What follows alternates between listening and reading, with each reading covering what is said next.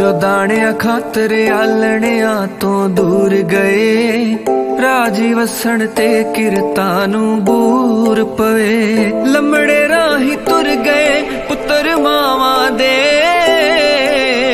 ਰੱਬ ਰਖਵਾਲਾ ਸਭ ਦਾ ਪੈਰੋ ਪੈਰ ਹੋਵੇ।